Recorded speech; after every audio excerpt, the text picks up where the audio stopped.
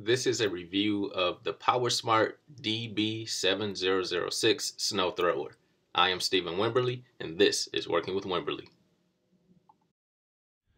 What's going on everybody? This is a quick review of the PowerSmart DB7006 Snow Thrower that they sell at Home Depot. I did a video showing you guys how to put this thing together and I got a lot of requests for a review. So here it is. I finally used this thing to get the snow out of my driveway and backyard. And this has really poor reviews on homedepot.com and I know exactly why. So here's the issue. Looking at it from the front, I'm gonna pull it back. And what we have here is a metal plate going along the bottom. And and this metal plate is held in with three Phillips head screws. This one here, one here in the middle, and then one here on this side.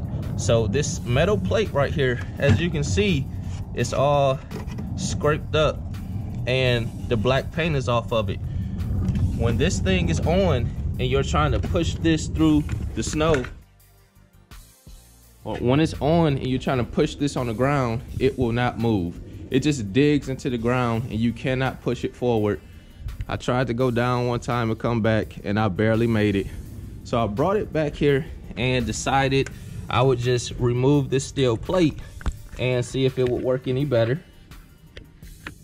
So I'm just gonna take the three screws out.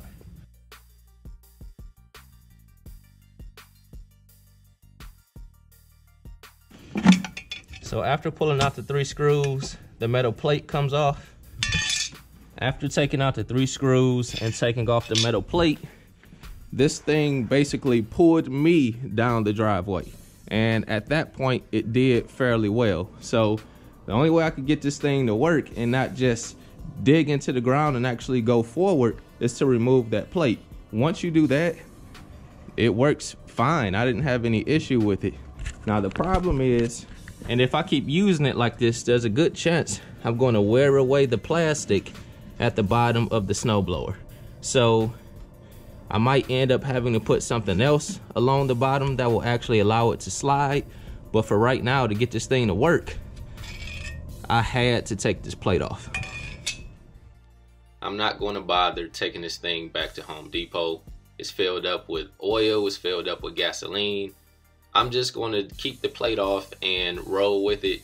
If you have not purchased this yet and you're thinking about it, it might be a good idea to get a different brand or a different snowblower that you don't have to modify in order for it to work.